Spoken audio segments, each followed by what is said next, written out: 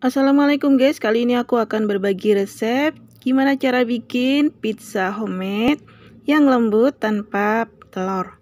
Ini bisa banget buat cemilan keluarga atau buat jualan ya guys, nanti aku sertakan perhitungannya. Gampang banget cara bikinnya dan gampang banget bahan-bahannya. Gimana caranya? Ikuti terus videoku kali ini ya. Tapi bagi kalian yang belum subscribe, subscribe dulu channelku ini dan nyalakan lonceng notifikasinya biar kalian bisa mengikuti video-videoku yang lainnya yang menarik.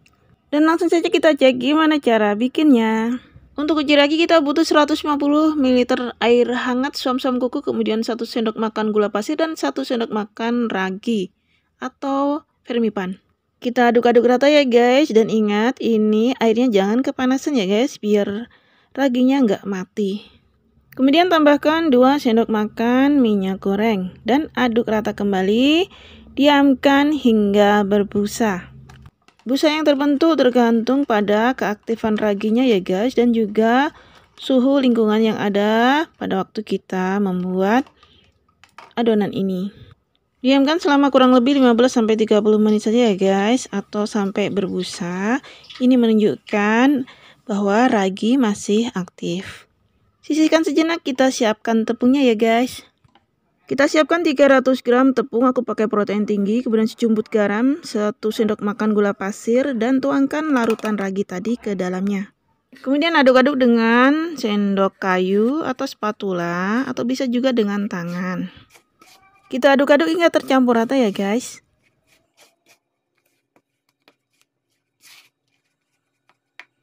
Kemudian tambahkan 60 gram mentega dan aduk-aduk kembali hingga rata. Nah ini aku ganti mencampurnya dengan menggunakan tangan ya guys. Campur hingga menteganya larut dan adonan menjadi kalis. Nah cara mengadukku seperti ini ya. Jadi seperti seperti kita mencuci baju.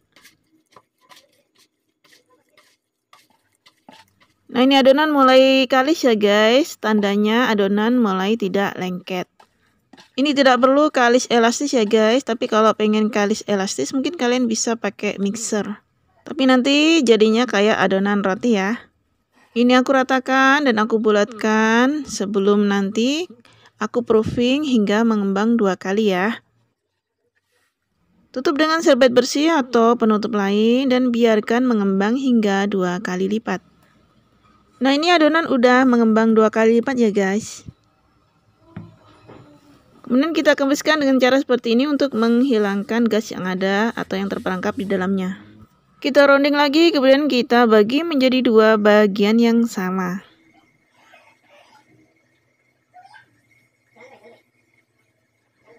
Dan jadinya seperti ini. Kemudian kita siapkan loyang yang telah diolesi dengan mentega. Aku pakai ukuran 24 cm.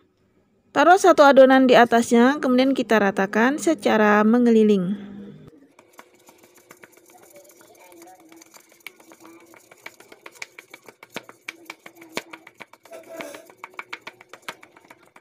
Kemudian bentuk tepinya lebih tinggi dibandingkan dengan bagian tengahnya ya.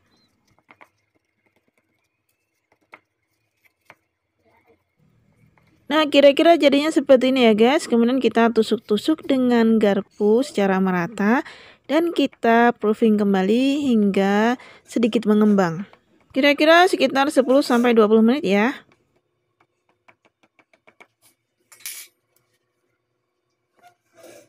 Untuk loyang lainnya aku bentuk seperti ini ya guys. Tepinya aku kasih sosis.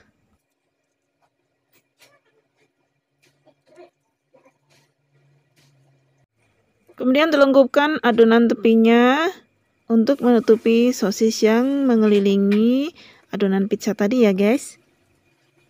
Ini kita rapatkan jangan sampai melongo atau terbuka ya. Dan jadinya seperti ini, kemudian kita gunting tepinya dengan jarak tertentu.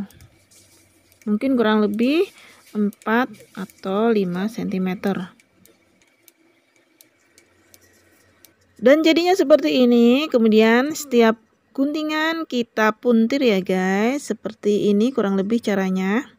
Kita lakukan dengan telaten rapi ya guys. Karena ini adonan tuh gampang banget mulurnya. Jadi ditata saja sampai uh, stabil dengan sendirinya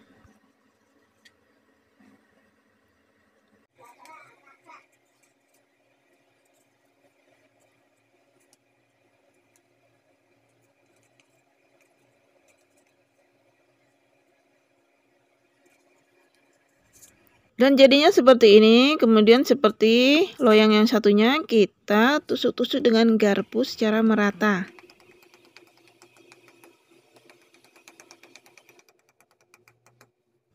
Kemudian dua adonan ini kita proofing ya guys, seperti tadi yang aku sebutkan, jadinya seperti ini.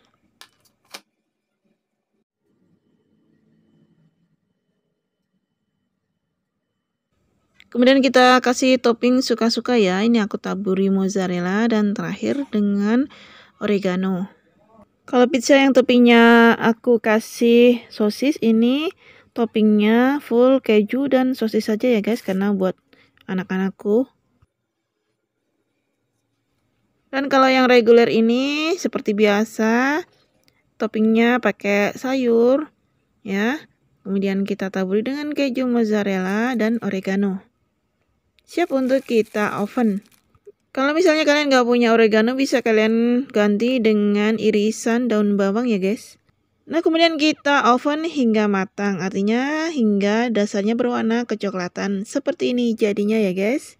Nah pizza homemade kita sudah jadi siap untuk dijadikan santapan cemilan bagi keluarga kita tercinta. Dan ini juga bisa untuk jualan ya guys. Hasilnya lumayan juga loh. Ini adonan pizza tanpa telur, hasilnya tetap lembut dan enak banget. Nanti insya Allah di video yang lainnya aku akan share resep pizza yang pakai telur ya guys dengan uh, komposisi seperti ini. Oke demikian tadi resep pizza dariku semoga bermanfaat dan kita jumpa lagi pada videoku yang lainnya.